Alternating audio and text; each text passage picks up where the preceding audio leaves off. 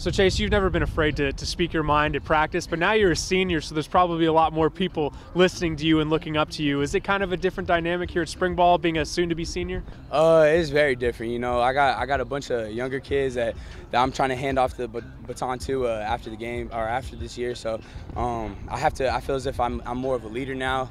When I was a youngin, I was just I was just playing around, just just messing with the old uh, the old seniors and stuff like that. So they kind of taught me well, and uh, I appreciate what they did for me. So I got to do the same to the, to the young kids that are coming up. Now you're state champions, but that doesn't mean you let up because now you got a big target on your back going into your senior year. So has that been a big focus? Oh, that's been a huge focus. You know, uh, going for that second ring, it, that's that's just been a dream of ours. But another big thing that we're looking forward to is the Bishop Gorman game, so we can show everybody nationally how good we are and uh, what, what a great team we can be recruitment wise, it hasn't slowed down for you at all this spring. You have a, a handful of offers.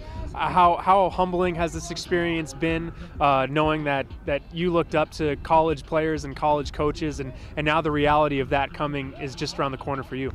it's crazy. It's exciting, you know, just just being a part of this this family for four years, and just to know that I have a lot of offers to, to go to, and I can pick whenever wherever uh, college I want. That's just a blessing, you know. I, I really just want to take my recruitment slow. Uh, I'm excited about all my offers. I'm really I really just want to go take my officials and stuff like that, and then uh, I get to play in the Army All American game. So hopefully, if I haven't made my decision by then, I'll make it on uh, national television.